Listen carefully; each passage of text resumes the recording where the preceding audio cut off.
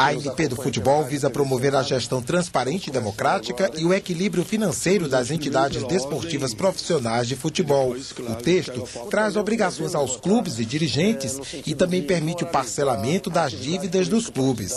Votada a matéria, os senadores poderão apreciar o projeto que regula a criação de municípios e também os casos de incorporação, fusão e desmembramento. Uma das medidas prevê percentuais mínimos diferenciados de população para se criar município, variando de 20 mil moradores nas regiões sul e sudeste a 6 mil habitantes nas regiões norte e centro-oeste. Também estão na pauta quatro projetos da chamada reforma política.